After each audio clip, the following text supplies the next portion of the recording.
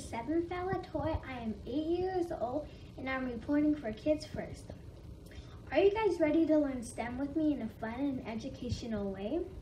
This song will have you grooving to the beat, dancing all around your house, and if you imagine it, then dancing on the ceiling. I liked everything about this song because you can learn lessons from it, and also because you can learn technology, science, math, engineering. If you guys didn't know what STEM stands for, that's what it stands for, what I just said. My favorite character is the person who's singing and the kids because the person who's singing was great at singing.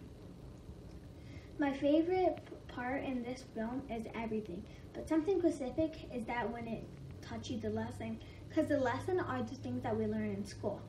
I hope you guys give a round of applause for Dan Crow when you guys hear this song because it was a great song.